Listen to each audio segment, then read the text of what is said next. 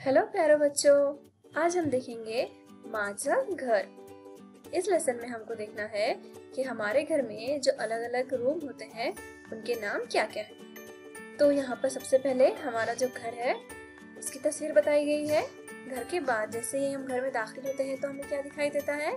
यहाँ पर होता है घर का बरामदा गार्डन जहाँ पर अलग अलग फूल होते हैं। और जैसे ही हम अंदर जाते हैं, हम किस कमरे में जाते हैं? जिसको हम हॉल या लिविंग रूम कहते हैं। मराठी में उसको बोलते हैं बैठकीचा कमरा।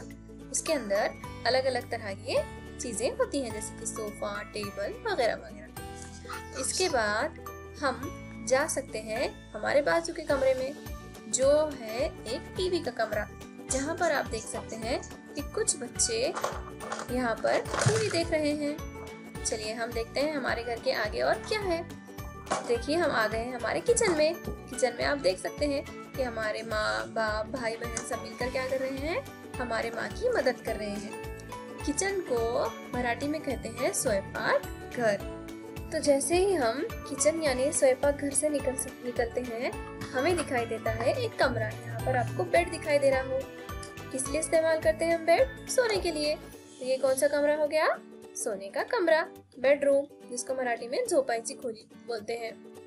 इसके बाद जैसे हम इधर से आएँगे, ये क्या है हमारा? टॉयलेट इसको मराठी में बोलते हैं शौचालय। और उसके आगे है बाथरूम इसको मराठी में कहते हैं स्नान गृह। जैसे यहाँ पर एक बच्चा ब्रश कर रहा है। आप भी रोज ब्रश करते हैं ना सुबह सुबह? गुड अब इसके बाद हम चलते हैं आगे। तो बाथरूम के पास क्या है यहाँ पर? सीढ़ियाँ हैं। सीढ़ियों को मराठी में कहते हैं पायरिया। चलिए देखते हैं इन चीज़ों से चलकर हम कहाँ जाते हैं? अगले वीडियो में। शुक्रिया।